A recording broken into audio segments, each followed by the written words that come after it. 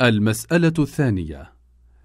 الوقف على نحو دفء ملء لحمزة وهشام. لهشام وحمزة في الوقف عليهما. أولا النقل مع السكون المحض.